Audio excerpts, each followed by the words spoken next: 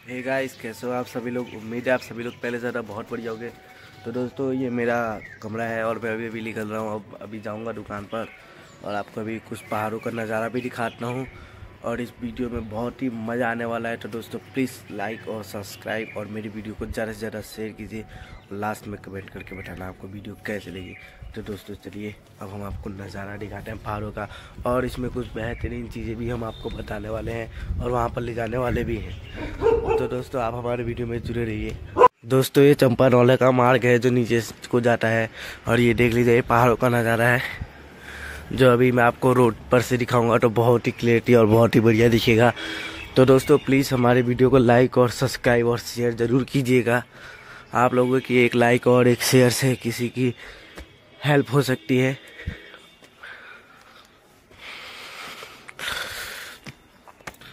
ये देख लीजिए, पहाड़ों का नज़ारा बहुत ही ब्यूटीफुल दिख रहा है। अभी तो मैं यहाँ नीचे हूँ, अभी ऊपर वो रोड है। जो वहाँ पर जाके दिखाऊँगा और क्लियरिटी दिखेगी। तब तक यहाँ से देख लीजिए।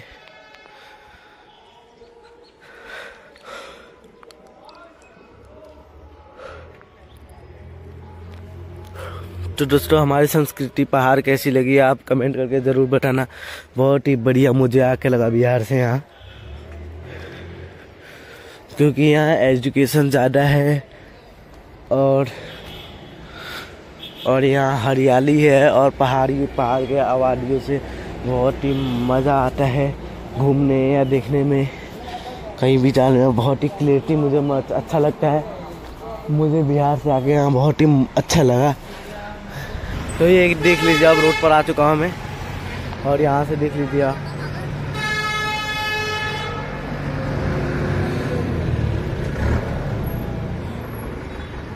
यहाँ दोस्तों, ये है कि यहाँ पर कहीं कहीं बहुत ही ज़्यादा गंदगी है।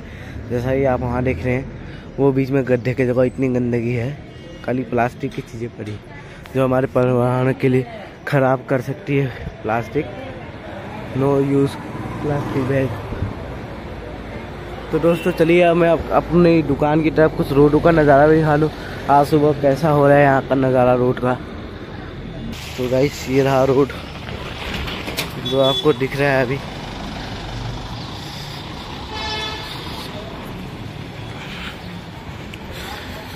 तो गाइस देख लीजिए, अभी हम यहाँ पर आ चुके हैं। अब यहाँ से सीधे जाएँगे हम, ये रोड जहाँ पर जाएगी, वहाँ पर केमू स्टेशन पर जाएँगे वहाँ से अपनी हम आपको कुछ अच्छी चीज़ें भी दिखा देंगे। और आप हमारी वीडियो में पूरा जुड़े रहिएगा दोस्तों, क्योंकि इस वीडियो में बहुत ही ज़्यादा मज़ा आने वाला है इंटरेस्ट होने वाला है वीडियो।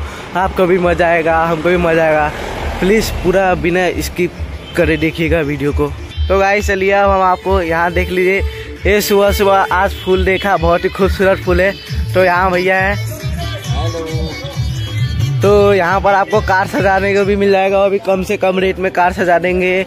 और यहाँ माता के लिए आप फूल भी ले जा सकते हो, जो बहुत ही ताज़ा फूल है। सुबह सुबह गुलाब के भी है। हर प्रकार के आपको फूल यहाँ मिल जाएँगे।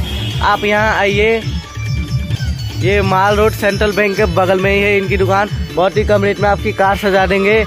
और आपको फूल वूल ले जाना होगा, वो भी आपको बहुत ही रेट में दे देंगे। देख लीजिए, माला बना रहे हैं। तो दादा, मैं चलता हूँ अभी, जाओ। तो दोस्तों, चलिए, अब जैसा कि दादा ने हमको बताया कि चल जा सकते हो आप। मैंने पूछा कि यहाँ पर बहुत सारे कम रेट में आपको माला मिल जाएँगी, भगवान के कुछ फूल मिल जाएँगे चढ़ाने के लिए सस्ते रेट में। और क्या बोलते हैं, कार भी मिल जाएगी शादी बारात में ले जाने के लिए, कहीं भी कुछ भी करने के लिए सजाने होगा तो मिल सकती है। तो गाय सब अभी यहाँ पर पहुँच चुके हैं हम होटल एम्बेसडर के पास। तो दोस्तों आप हमारे वीडियो में जुड़ रही है बहुत ही मज़ा आने वाला है। और बिना स्किप करे देखिएगा मेरी वीडियो को। और जो भी मेरे चैनल पर नए हैं वो प्लीज़ मुझे लाइक और सब्सक्राइब और मेरी वीडियो को कमेंट और शेयर ज़रूर करना। तो गाय सब हम फाइनली यहाँ पर अपने दुकान के पास आने वाले हैं। ये बस के सामने मेरी दुकान लगती है। तो चलिए अभी मैं आपको दिखा दूँ। तो गाय देख सकते हैं आप। यहाँ पर मंडी से माल आ चुका है। अब हम आपको गोदाम में लेके चलते हैं।